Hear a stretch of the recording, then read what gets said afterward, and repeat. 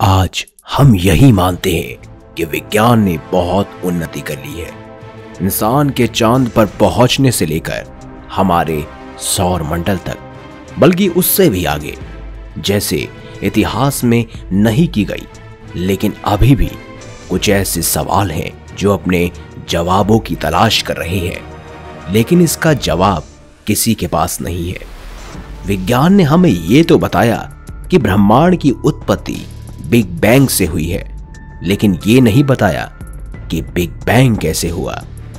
आज हम आपको कुछ ऐसा बताएँगे, जिसे सुनकर आप भी कहेंगे कि बिग बैंग थ्योरी सिर्फ़ और सिर्फ़ एक कल्पना है।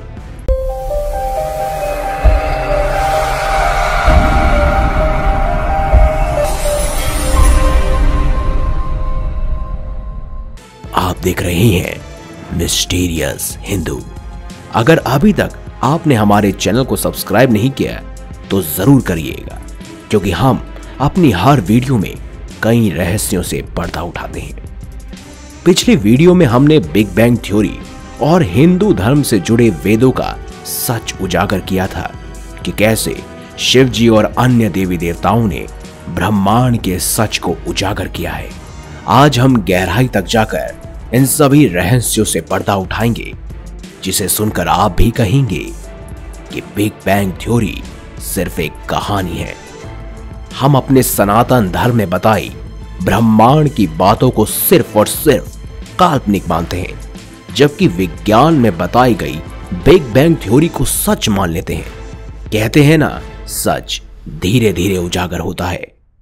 कई वैज्ञानिक अब हिंदू धर्म से जुड़े वेदों को ही सच मानना शुरू कर रहे हैं। हिंदू वेदों में लिखे हुए बारीक से बारीक श्लोकों को समझने का प्रयास कर रहे हैं। हमारे वेदों में सृष्टि रचना की थ्योरी बताई गई है, जो अब वैज्ञानिकों के लिए एक नई खोज जैसी है, जिसे बिग बैंग थ्योरी को साफ़ साफ़ नकारा जा सकता है।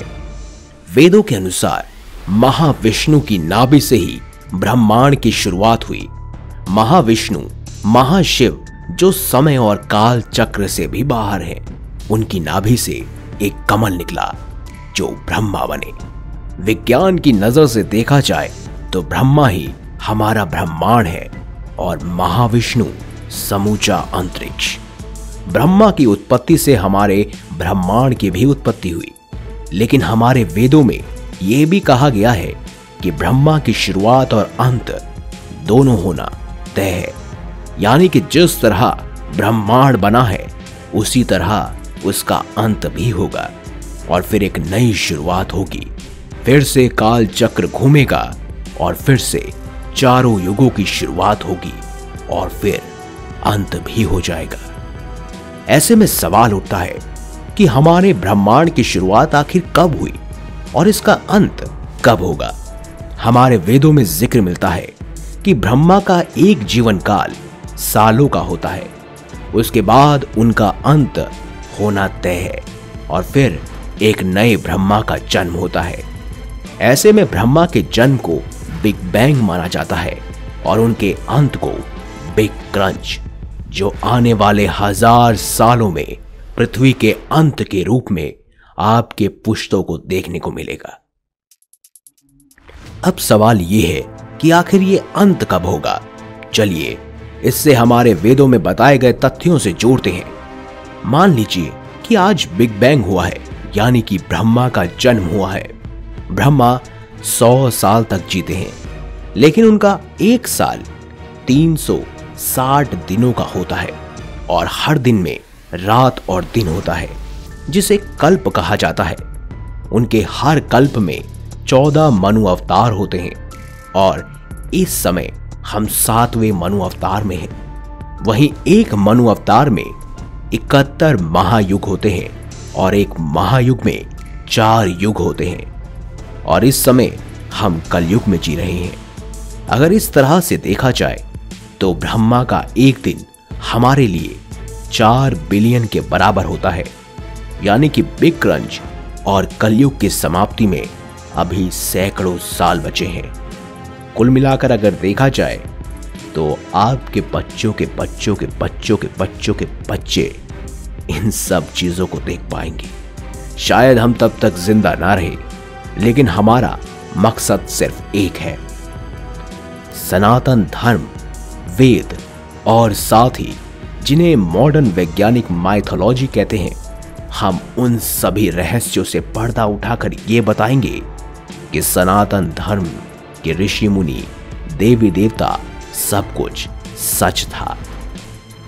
जो कल्पना या जो माया जाल वह सोच रहे हैं, वो बल्कि अभी की भौतिक दुनिया है, जिसे बदला नहीं जा सकता।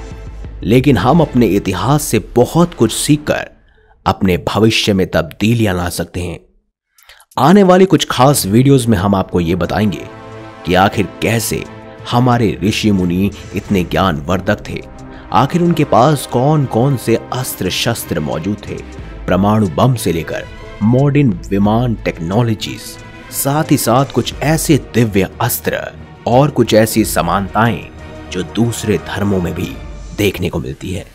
इसके लिए अभी आपको क्या करना है?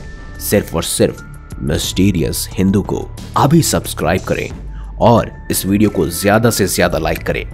ताकि हम जल्द ही जल्द आपके लिए बहुत सारी वीडियोस लाते रहें। देखते रहिए मिस्टीरियस हिंदू और हमारे चैनल को सब्सक्राइब अवश्य कीजिएगा। धन्यवाद।